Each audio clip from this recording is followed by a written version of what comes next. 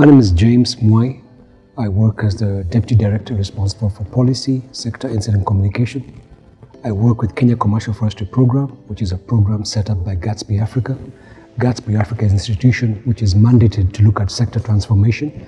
And one of the areas we're looking at transforming is commercial forestry in Kenya. My name is Felix Magaju. I work with KCIC as the head of programs. We were launching the first cohort of commercial forestry uh, where previously KCIC has been working in three thematic focus areas, and that is agribusiness, water, and, agri- and uh, waste management. A couple of months ago, the board decided to include some two more uh, thematic areas, that is uh, waste management and commercial forestry.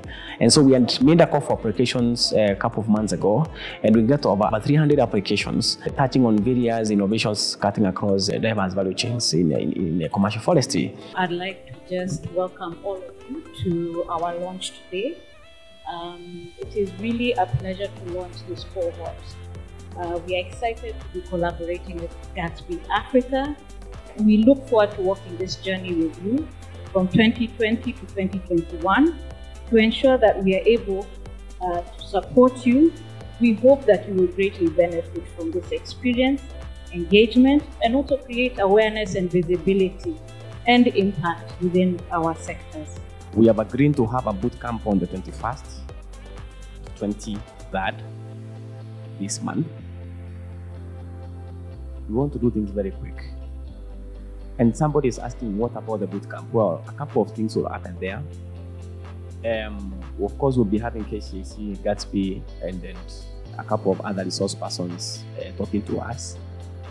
This is essentially is a deep dive of what is needed for the next one year.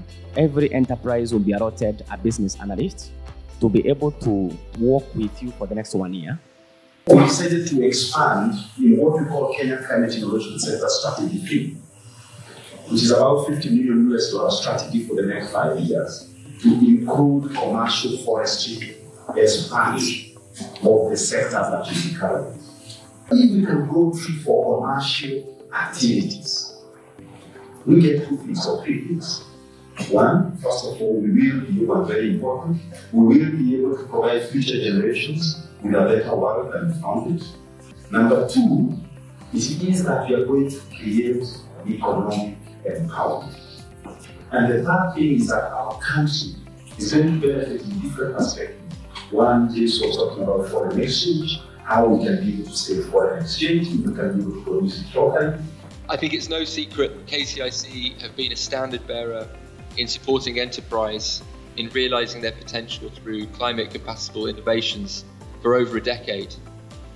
And they are a proven model at providing much needed investment, but just as critically, world class enterprise incubation services. So, as such, we are extremely proud as an organisation and a programme to be collaborating with Edward and his accomplished team in this current initiative targeting Kenya's commercial forestry sector. Each of you have a unique service offering to bring to the table.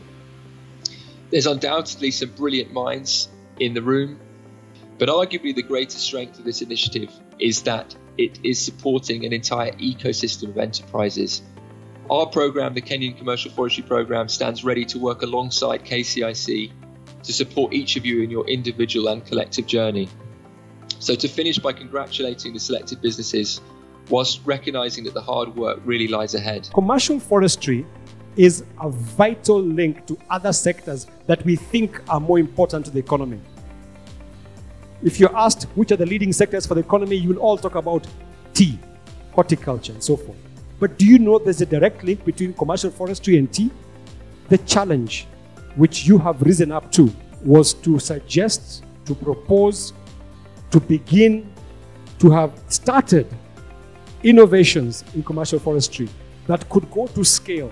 You are the entrepreneurs, you are the ideas people. Our role is to provide the backdrop, provide you with access to some of this information, and of course, through KCIC, provide you with an incubator program. But collectively, we will rise to address not just the demand, because growing demand is easy.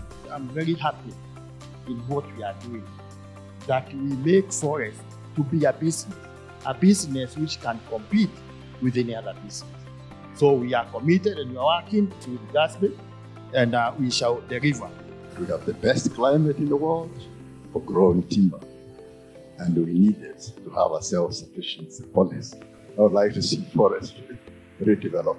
We're very eager that after the end of those 12 months, that these 32 businesses will actually be successful businesses. There are two elements of success. The first element of success will be they'll be successful as, as incubatees.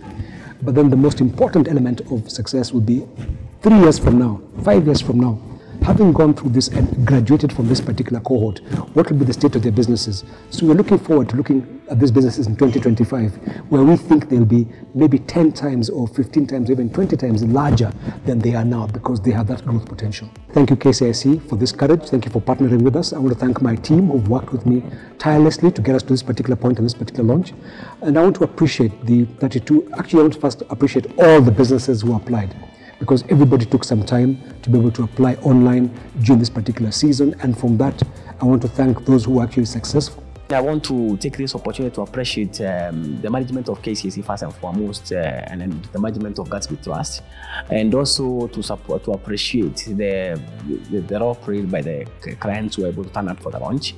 Uh, we are looking forward to really supporting you for the next one year and supporting you in terms of advisory services and access to finance, and to ensure that the products that they are producing, we will be able to you know uh, support them in terms of access to market, so we'll be able to market their products.